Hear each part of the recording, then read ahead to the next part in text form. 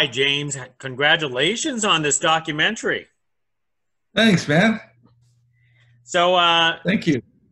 So, I, I mean, it, um, for for Turning Point, it's a you, you you got it out right on time for what Alzheimer's Day. Well, I think that they're releasing it. That's that's the distributor's uh, uh, idea of good timing. Yeah, it took a long. I had no idea it would be coming out. It took a long time to make it. So you know, mm-hmm. I'm glad it's coming out and, and it, people can connect with it certainly on that level. So, um, so tell me the origins of uh, this documentary because I know you've done a lot of films in the past, but what what inspired you to do a documentary on Alzheimer's? Well, I did a documentary a few years ago um, called Glen Campbell, I'll Be Me, which was on CNN, and at the time was uh, and, and has been the highest rated movie they ever did, and and um, um, it was curious because when we first sold it to them, we wondered would people connect with it, and then you realize that one out of two people are going to get Alzheimer's, and you know if if we live long enough. And I became involved. I was very I was reluctant to come to the world of Alzheimer's when they asked me to. I'd done a movie called Walk the Line, and then somebody asked me to do this thing on Julian Raymond asked me to to do Glen Campbell and said it's only five weeks. He's coming. He's got Alzheimer's, and my partner Trevor and Albert at the time thought Alzheimer's. I don't. No, man. That that that sounds like uh, it scared me. The word scared me. I had no idea what it was. And then I met Glen and and Glen came into the studio and he said, "Hi, uh, I'm here to talk to you about making a film about my part timers." I said, "Your part timers? Yeah, I thought Alzheimer's." He said, "No, I got part timers." And uh, he immediately showed his sense of humor. And then his wife was there, and, and she and he said, "Well." he pointed to Kim. He says, "When I a man findeth a good woman, he findeth a good thing. I got me a good thing right here." And I saw, I, I saw all of a sudden this guy had a tremendous personality, and he wanted to make a movie about his Alzheimer's, and he knew what was going to happen. He knew where he was going with it. But he said, "You know, uh, I'm cool with it, and uh, I'm going to be doing a few shows." And, and it, Julian said, "It's only five weeks, few shows." turned out to be 171 shows, two and a half years of filming, over 2,000 hours of film. And I got to see Alzheimer's up close and very, very personal. I became very close to their family. And um, it was, it won three Grammys, nominated for an Academy Award. It was, and, and it, it took me on the journey of Alzheimer's. Now, that film, CNN was looking for sponsorship, and and one of the executive producers, uh, Nancy Lynn, had a relationship with the the folks at Eli Lilly, and we went up to Eli Lilly to show the film, mm-hmm. and um, they uh, we were sitting in a restaurant, and this waitress came over to me, and she said, "What do you what are you folks here to do?" And I said, "We're we're going to go show a film over at Eli uh, over at Eli Lilly." And I was thinking, of course, she was going to bash the drug company mm-hmm. because you know that's what everybody was doing at the yeah. time. And uh, and she said, "Oh, I love them." I said, "You love them?"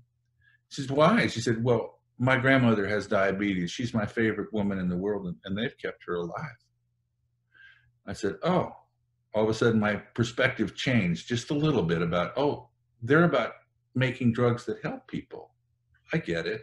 So now I go across the street and Phyllis Ferrell is there, and uh, and uh, she says before we, you know, they they wanted me to show some clips. They wanted me to show the film, and but before we do that, I, would like you to meet um, the research scientists. And I met with. Uh, he said, "This is Pat May, and Pat's retiring today. By the way, you came on a very special day." And um, and this is Ron DeMattos and Eric Siemers, and they're all in the film, of course. And Pat, Pat, I said, so tell me, you guys, what, what, have you, what drugs have you, have you got coming on the market or have you discovered? None. What do you, what, what? What do you mean none? He said, well, well, Pat came very close. What do you mean? Pat, tell him what happened. He's, well, I was developing a drug called semagacestat. By the way, it took me years to be able to pronounce semagacestat. Um, after all this time, I, I know all the names of the drugs.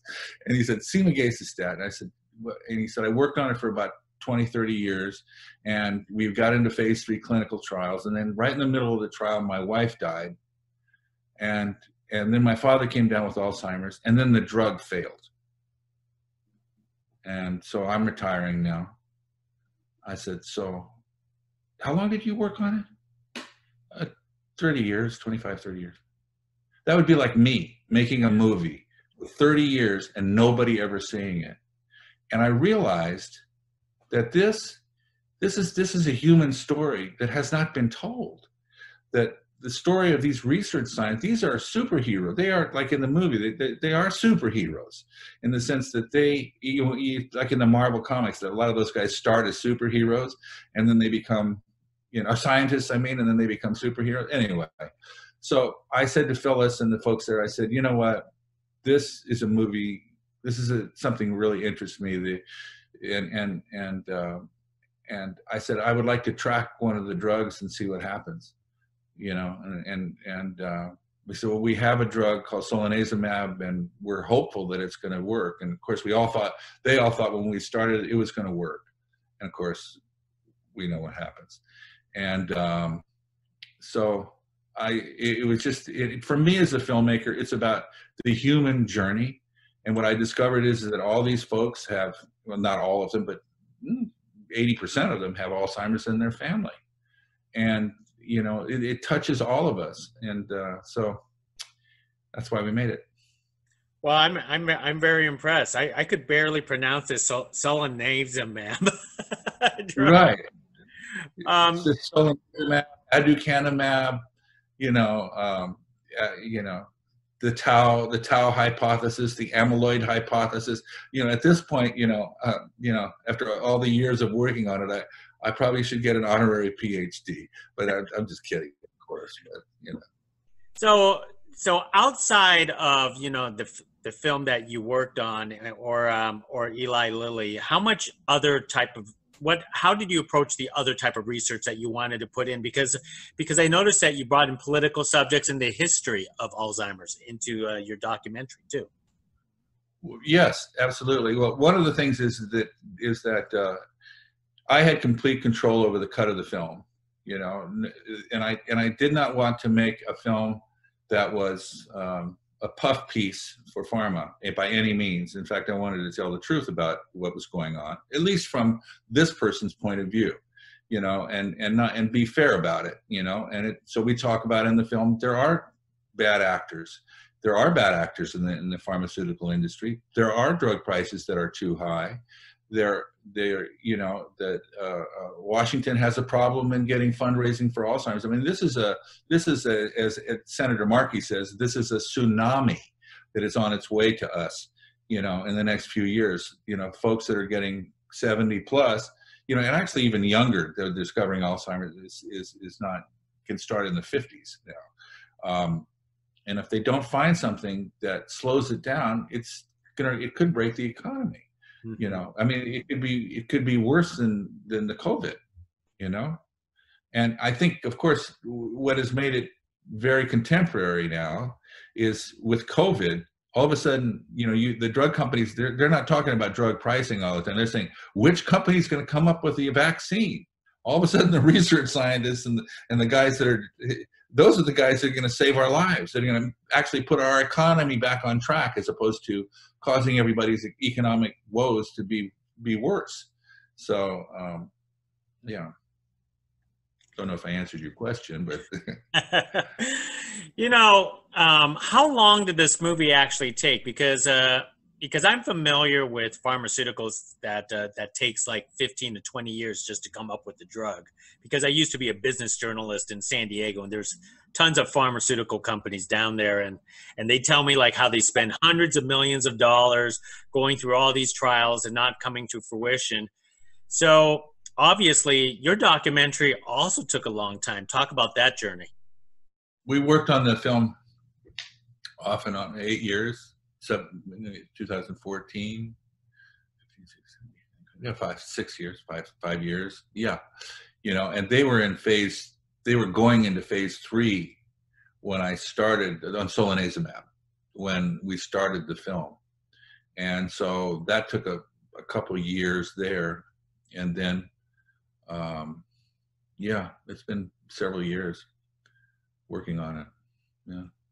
Are Are you surprised the fact that um, these drugs uh, take a very long time with the you know the strict policies of like you know the FDA and so on, but but like um like one of the things that uh, it's very noted is that we're trying to develop like a vaccine for COVID, and that's probably going to come within months, not the 15 to 20 years like anything else is coming out. Well, the COVID is a viral thing. Alzheimer's, you have to get through what is known as the blood brain barrier. COVID, you can take it in and it affects the entire body. It's the, especially the stomach, you know, the inflammation. It's, it's an inflammation, and uh, COVID is a, it's a, it's an inflammation. Alzheimer's is an inflammation thing too, but you, you have tau proteins or amyloid proteins in the brain. And in order for the drug to be uh, to, to, be safe, you, you have to get through the blood-brain barrier. And obviously, you don't want to kill somebody's brain. Alzheimer's is already doing a good job with that. And so, to get something to actually stop the amyloid, to prevent it from getting into the brain, is really hard it's the body, the hardest thing to do is to i mean if you look at all neurological diseases you know they're trying to find cures for parkinson's uh, lewy body dementia als uh, alzheimer's any kind of other kinds of dementia you know it's it's to get through that blood brain barrier and to stop it's it's it's really really hard so a vaccine is one thing you know that's that's that's but it's it actually takes you know, I, I, am a little skeptical about the, having a vaccine in six months. I, I really am. All the scientists I talk to, they go, "Oh man, we hope so, we hope so." But you know, you still have to test it in you know 40, 50,000 people, yeah. and you know, and and if it's people your age or or or people my age, who's going to want to take it if they know that they're in jeopardy of dying from it or having a blood clot. That's that's just on on on the COVID side of things. But you know, I mean, it's hard. It's the the that's why Alzheimer's has had such a tough time. Yeah. You know, the, the, I've been to all these these conferences, and you know, there's a new drug called aducanumab. It's not new actually. It's a it's another amyloid high, amyloid drug, and um, bio a company called Biogen's developing it, and they thought that uh, their phase three trial was looking good, and then all of a sudden, it they weren't making their endpoints halfway through the trial, so they stopped it. Their stock dove, and then they kept going with some of the, you know they they looked at all the data when it was finally, and they went, wait a second, this is actually working. So now they're back in phase three and there's some hope that it might it might work and the so solanezumab is still being used in younger people so it makes it makes sense that if they could develop a drug like lipitor for heart disease if they could find just something that that was a preventative for the amyloid going into the brain that would be really good and so they're going uh, younger and younger so you know and now with the the advent of, of the pet scan before they couldn't see Alzheimer's until people were dead. You know, that's the only way they could look at it. You would do an autopsy and they look at the brain. Now they have they have they have scan PET scans with tracers that can go into the brain and actually actually see the, the plaques and the amyloid in the brain, and hopefully they'll be able to start looking younger and younger. And you know, when does it start to develop, and what can we do to slow it down? You know, and that's that's the game they're trying to play. It's really hard. Alzheimer's is all, all the blood, all the neurological diseases are really really tough. You know, because you don't want to mess up there because you're messing with somebody's brain. Yeah. You know. Absolutely. How much access did uh, Eli Lilly actually uh, allowed you to uh, to film and um, access to their research? Total. Total access. You know, I had to sign a non-disclosure stuff. They when when when uh, when they found out uh, about solanezumab, they uh, um, well, I found I was in the room when they found out about it, and I had to give them my film. I had to sign a non-disclosure agreement. Obviously, I couldn't have any stock in the company, you know, and I had to keep my mouth shut. I had to tell nobody, you know, because obviously that, so they gave me the access to, and it took some time for them to get to know me and to trust me, you know, but it, the filming over a period of years of constantly coming there and constantly interviewing. I went all over the world. We filmed in Barcelona. We filmed, we went to England and talked to their research scientists there. I was trying, I was doing a deep dive on what it is to, to um, develop a drug and how difficult it is and how complex is it. It's not just like, hey, I got an, I've got my chemistry lab here and you know we're gonna we, we're gonna develop a drug you know it's it's it's pretty tough you know to do it. And i you know it gives me an appreciation of just how you know uh, there's a lot of drugs on the market but just how tough it is to develop something that works you know? So. When when you brought in some of your interview subjects, like the research scientists and the Alzheimer's patients, was it hard to convince them to uh, to be a part of this documentary? Um, it wasn't hard to convince them to be part of it because they wanted to be part of helping other people. Their attitude was very similar to mine, in that is we're trying to, in Glen's, Campbell's, we want to make a difference. We want to show this.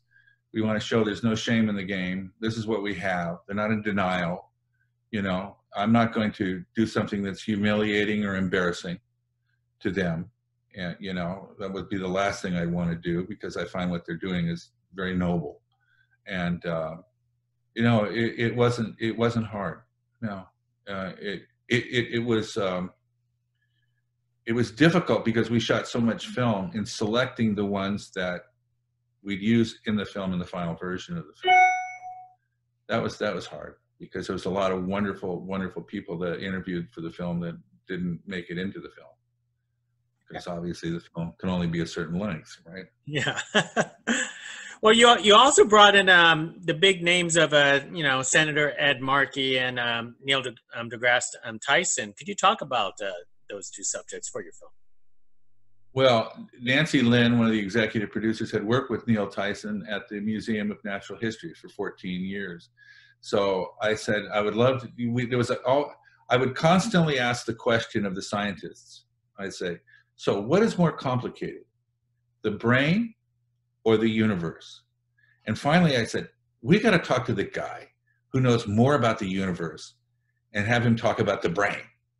So that's that's how we. So we we got to Neil and we talked to him and and and it was fascinating you know, and, and when I was at Harvard interviewing Reisa Sperling's, the, the people in the classroom, they they would all talk about you know Neil Tyson, Neil Tyson, you know, you know he knows about the universe, and I would ask them the, that question because I find it.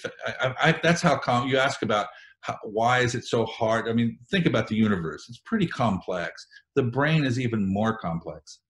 Neil would argue with me. I think he would say it's probably the other way around. But Neil Tyson said, you know, it was fascinating what he said. He said, sooner or later, somebody's going to find a cure, and it's going to be very simple. He's just going to say, "Still see it? Boom! They'll turn turn it just this way, and all of a sudden they'll see what it is." And he said, "That's what science is like. You just got to keep looking and looking and looking." Senator Markey has been a friend of mine for a long time. So he was in Glen Campbell as well. And when we did the interviews with in Washington with Nancy Pelosi, and we wanted to get the political side, Glen was brought to the Hill to testify in front of Congress. And if you haven't seen the movie, I, I would recommend it to you. It's it's very moving and very very powerful, and and and it's funny. Glen is really funny and he play his butt off. He's an incredible musician. Anyway, so Ed Ed Ed's uh, um, mother uh, died uh, uh, of, of, Alzheimer's. Hmm. So he's very involved with the Alzheimer's movement. So. Great. Um, one, one of the things that um, that I did like is that you you revisited try to try to revisit everybody um, during uh, COVID times. Could you talk about um, adding that portion to the documentary because you, you, technically you were you were kind you, you were you were sort of finished with the documentary and then you wanted to add another chapter well i thought it was if there was ever a time that people could connect with the importance of science and the relevance of science is now. I think the awareness of people now is so much more heightened, and um, so I thought this is a this is a great opportunity to even uh, uh, emphasize even more the the importance of of scientists and research. And and now in the film it explains what clinical trials are. People will now understand what the covid vaccines are going to have to go through. They'll have they'll have a reference that they didn't have before. Because um, i think I, I, I think we did a good job of explaining how clinical trials work and i don't think many people understood that before. Uh, i haven't seen it in too many films. It's, it's it's always very scientific and very kind of dry you know and and and dot dot dot and i think there's emotion eh, connected with the clinical trials here and there's emotion connected with covid and and also the influence it's had on the research trials that are going on now with alzheimer's. I think that that is you know as Reisa says it's really hard. And uh, and Dave Ricks talking about waving through the window at his mother-in-law who's got Alzheimer's you know and that the re- the reality is is that we need these people. And this emphasizes it even more. Absolutely. Well let, let me uh, start wrapping things up. Uh, when when when audiences get to check out uh, your documentary turning point what is the one lesson that they actually that you hope that they could take away from a film like this? To support science. To support science yeah and to really take care of themselves and and to also really emphasize that we need to help our our country find a, uh, something to help with Alzheimer's, support Alzheimer's research because it's going to affect all of us, and uh, and don't look at pharma just as numbers and politically. Try really hard not to. Try to look at it. It's, this is about science. This is about your children's lives and our lives, and you know, and and also work support programs to reduce drug prices. Of course, I'm not saying that not not don't you know. There's always going to be somebody that's going to try and take take your money from you and, and take too much. So that don't be irresponsible about that. But don't conflate science and and money together. Science is where it's at. That's right. Listen to science. And um, one, one more thing before I, I let you go. I mean, it's a it's a fun it's a funny question or topic to talk about because of times like this. But how are you staying creative and sane during during the pandemic? Um, I mean, because uh, you know the industry is practically par- um, paralyzed and is slowly opening back up again. So what what what is it like for you? Well, the interview, some of the interviews that I did in the film, I did them virtually you know i had a crew go to go to indianapolis and film there and i was sitting here talking just like i am to you and they so that's one way with some virtually i'm developing you know doing sizzle reels uh, for films that people want me to make um, i'm reading a lot you know and uh, um, playing golf um, you know, I, am trying. I'm just trying to stay positive. positive, and you know, we have a, an, another film coming out called Linda and the Mockingbirds, which is coming out uh, soon, and so that's taken up my time. We've been editing that, and it's that you know, so and just trying to. You know, I'm seeing my kids and just trying to stay positive in these times. It's hard it's really really hard you know but i i'm very fortunate you know i'm fortunate that i have a conversation that i can talk to you about something that means something to me and that the world is going to you know so i'm blessed and i'm very fortunate and for those people that aren't i i, I pray for them and i i hope that uh, things turn around quick and i hope science wins the day for us you know it's not going to be politics that does i'm i'm sick of the politics on both sides mm-hmm. it's it's it, it makes me, it stresses me out. I can't deal with it. well, um, as as a person who uh, had a grandfather who died of Alzheimer's, I really appreciate uh, you creating a film that uh, that shows you know um, hope and opportunity for for for some of us in the future. So I, I think this is. Yeah. Thank you very much, and I and thank you for your your good questions. Hey, not a problem. Hey, thank you. Hopefully, we do this again next time. Okay. I'll see you, man. Bye. Okay. Bye now.